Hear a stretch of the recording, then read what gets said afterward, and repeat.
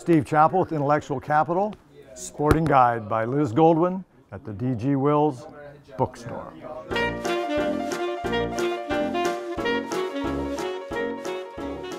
My name is Liz Goldwyn. I'm the author of Sporting Guide, which is a novel about Los Angeles in 1897 in the world of vice and prostitution.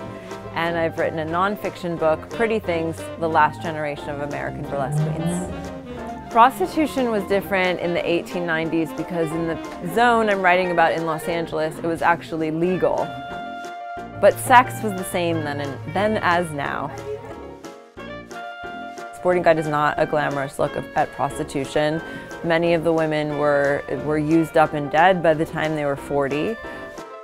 Many of them died of drug overdoses, often from opium in the city's brothels. It was a, it was a rough business, very rough business.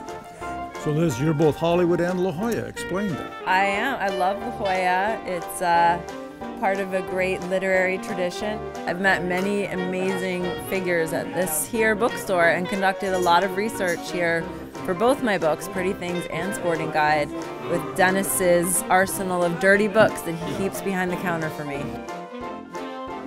She comes into the bookstore to look for material that might pertain to her uh, intellectual interests. It's, it's always a wonderful encounter. Liz is a, glamorous, very friendly person. You should buy a Sporting Guide for all of your holiday Christmas gifts. It's a little erotic bedside reading and a little history thrown in too.